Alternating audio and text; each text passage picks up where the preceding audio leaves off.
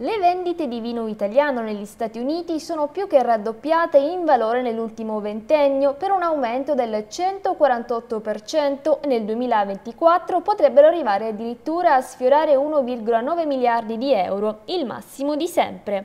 Ad affermarlo è un'analisi della Coldiretti su dati Istat diffusa in occasione dell'inaugurazione del Vinitali a Chicago con la presenza del presidente nazionale Ettore Prandini e dell'amministratore delegato di Filiera Italia Luigi Scordamaglia.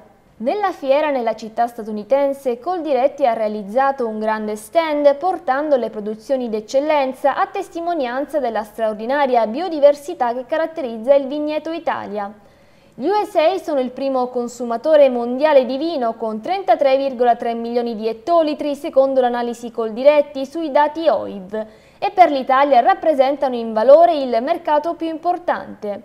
Ma il bel paese è anche il principale fornitore in volume degli States con circa 450 milioni di bottiglie vendute. Circa un quarto è rappresentato dal Prosecco, che risulta il più popolare tra i consumatori americani, anche se sono ormai sempre di più le etichette delle diverse regioni che hanno acquisito notorietà in America.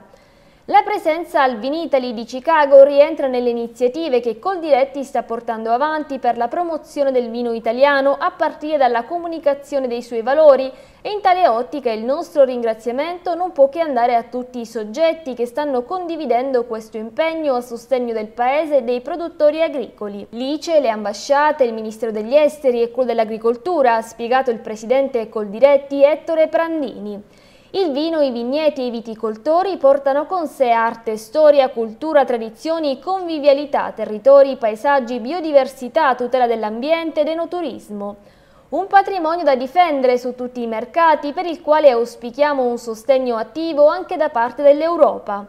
L'obiettivo è stabilire un canale di comunicazione permanente e informare e educare i consumatori americani sul perché il vino italiano è così diverso dagli altri vini prodotti nel mondo, grazie alla sua grande diversità varietale, alla variabilità ambientale a millenni di cultura e tradizione, oltre ad un'assoluta sostenibilità delle tecniche di produzione, ha dichiarato l'amministratore delegato di Filiera Italia Luigi Scordamaglia.